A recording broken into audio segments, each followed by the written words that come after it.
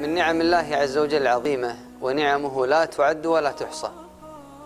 أن بلغني وإياكم هذا الشهر المبارك.